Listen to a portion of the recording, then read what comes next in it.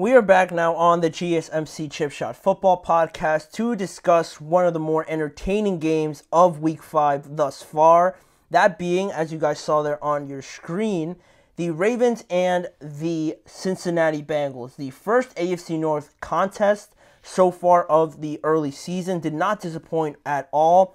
Um, this matchup between the Ravens and the Bengals, we kind of hyped it up uh, last week when we previewed it a little bit, just because of the implement implications of both you know scenarios if either team lost, obviously, and um, you know Baltimore took advantage. I thought of some crucial errors by the uh, by the Bengals in this game to win 41 to 38 in overtime. Now the Ravens, like I mentioned before in the last segment, are first in the AFC North with a 3 and 2 record, and the Bengals in the AFC North as well obviously fall to 1 and 4, along with the Cleveland Browns in last place after this contest. And looking at both of the performances, I think to me, none two stand out more than these two guys, right? Lamar Jackson and Joe Burrow. Lamar, an outstanding game. You know, it had pretty much everything. He was making the throws running with the ball, obviously, how he complimented uh, Derrick Henry, and as well, just making the the crazy wow throws. Right, you're gonna see it everywhere for the next couple of days. The the touchdown that he had to Isaiah Likely, it was it was insane, quite honestly. Um, when you hear everybody talk about how quarterbacks should should never do what Lamar did basically in that in that scenario and for him to execute it perfectly and create a touchdown out of it in which they needed to. Um, it was insane. It was great to see Lamar Jackson perform like that. 348 yards, four touchdowns on uh, 26 of 42. He also added on 55 rushing yards. Then you look at every all the other players on the Ravens, Derrick Henry, 15 carries for 92 yards and a touchdown. Zay Flowers had a good game, seven receptions for 111 yards.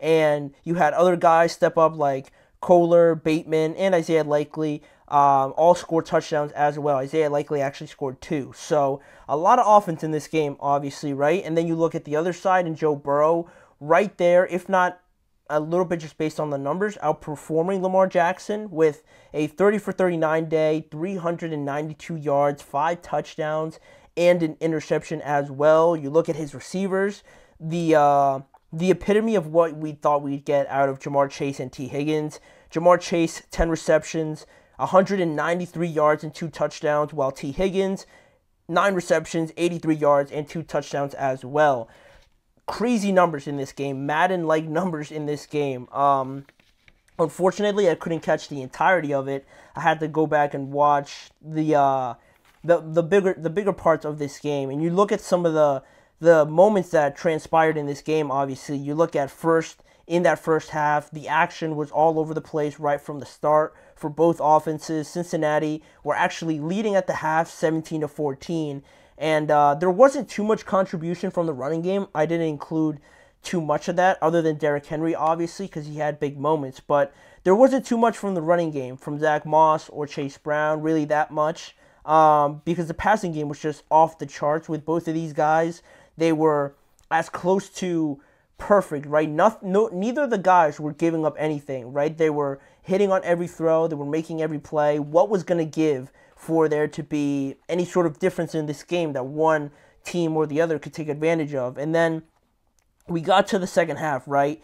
And uh, there were six touchdowns just in the second half, back and forth right from the start of the half. It was Bengals score, Ravens, Bengals, Ravens. It was it was great. It was great to see. And while Cincinnati at one point, I think they were leading by uh, by three points. Yeah, they were leading 38 to 35 they were on their drive to try and ice the game there towards the end. And, um, you know, Joe Burrow making one of the crucial mistakes, I think, of this game, throws that interception to Marlon Humphrey, trying to get it to Ja'Marr Chase. Um, it was a slant route, I believe, and I think Marlon just kind of jumped it, stepped in front of it. And, you know, that was the moment. That was the moment where, you know, maybe you think you overdid it. Maybe you think you threw one to two passes more than you should have, and maybe you try to run out the clock in that instance, but because the pass is working so well, you keep going to it. Ja'Marr Chase looked unstoppable, and that time Marlon just made a good play. And it is a mistake though at the end because Joe threw the interception, whereas I'm sure a lot of people will say that you know running the ball could have been the the better option there, but that gave the Ravens life in this game, obviously, with three minutes left. Eventually, they kicked a field goal by Justin Tucker to send it into overtime, but even still, you know, when you see that field goal, you're thinking, all right, this coin toss is going to be huge because either the Bengals can sort of try and put out this fire because they had a good drive going, other than the fact that Joe threw that interception, or the Ravens take a full advantage of this momentum and just go down there and score a touchdown. And what we saw in the in overtime was even crazier, arguably, than what we saw in the game. Baltimore got the ball first, and they were driving um, pretty fast. They were driving pretty fast down the field with uh, with the first possession of overtime, and there was just that one play right where um, a fast snap. I'm not sure if Lamar took his eye off of it or he wasn't expecting it to come that fast or at that time, but he bobbled the snap. It kind of hit off of his chest and he fumbled it. He fumbled it away, and the the uh, the Bengals recovered it at their 39 yard line. All Cincinnati needed was a field goal.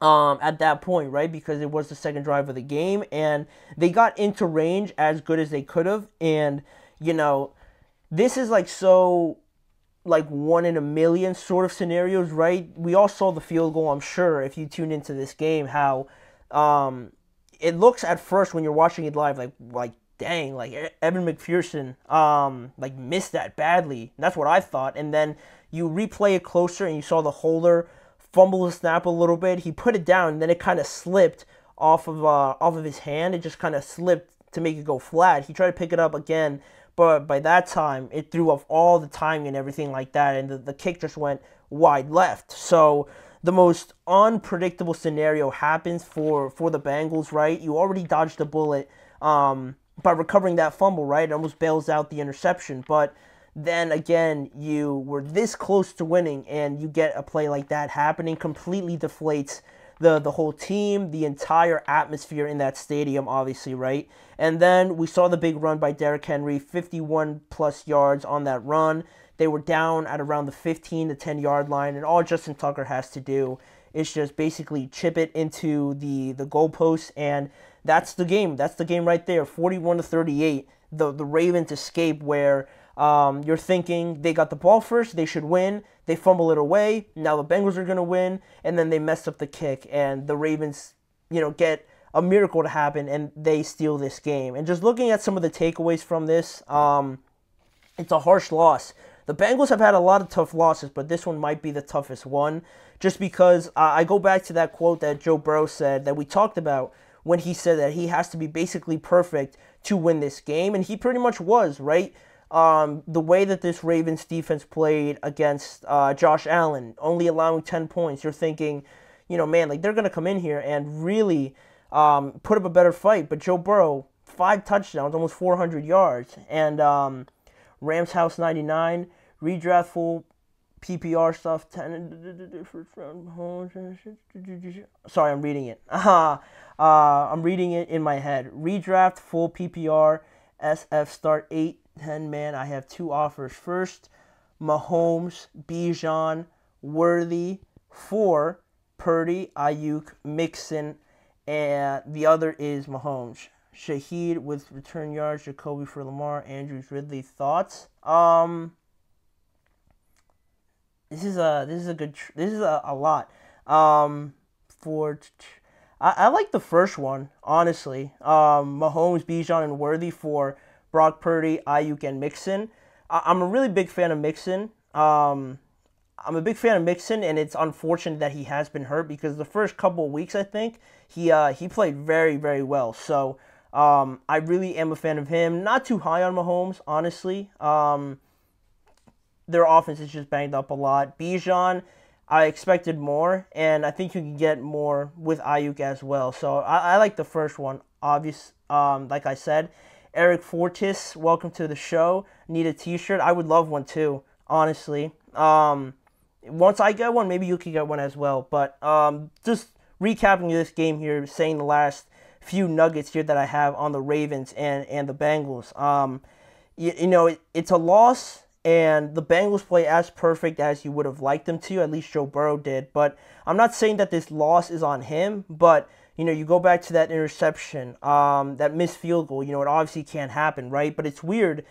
I think it's really weird how Burrow is in this situation where it's uh, it always feels like it's the defense's fault a lot of times with these uh, with these losses. Um, and now it's the special teams costing him right where the defense did enough to kind of get him in a spot to win the game. Now the special teams can't get it together. Um, and now they're costing them plays or games where Joe Burrow plays a very good game again, and it kind of goes all to waste. But um, it sounds like a cop out for Joe Burrow, right? Like he can do no wrong. And I'm not trying to say that um, it's never going to be his fault because again he threw that interception, right? Maybe, obviously thinking back on it, he doesn't become that aggressive or throws that pass to to Ja'Marr.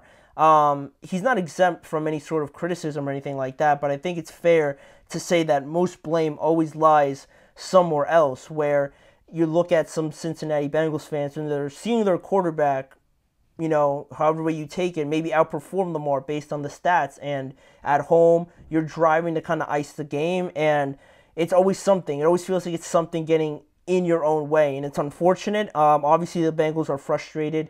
Uh, Ja'Marr Chase, pretty frustrated um, after the game as well in his comments. Obviously, Joe as well. Um, and I just think this kind of stems from really like an over reliance on Joe Burrow a little bit. Um, because the whole narrative idea of coming into this season where the Bengals was that, yo, if Joe Burrow stays healthy the entire year, they're going to the Super Bowl, right?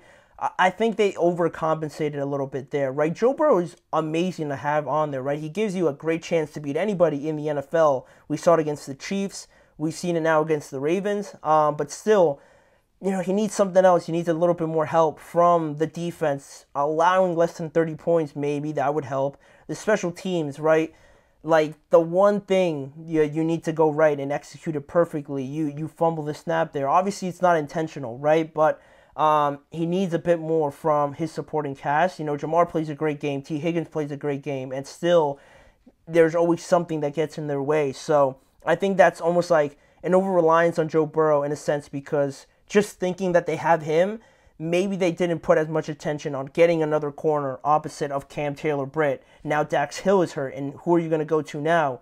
Um, the defensive line isn't great. The run defense, not that great either. The passing defense, even with those guys there, isn't amazing either. Um, so all these things, I feel like it was just an over reliance on Joe to think that he's going to be here, so we're just going to be in the conference championship anyway. Why are we going to you know, go overboard and think that we need these many pieces when we've done it before with just Joe. But, you know, that always can't be the case. The AFC is a super tough conference overall. Now you got Houston in there. Um, the regular teams in there, like the Ravens, obviously the Chiefs, and, and teams like that. So there, there's a lot of good competition. There's a lot of parity in the NFL nowadays. So you definitely need a lot more. And that's one thing that kind of came into my head when I was thinking about this game. But Lamar and the Ravens, you know, what more is there to say?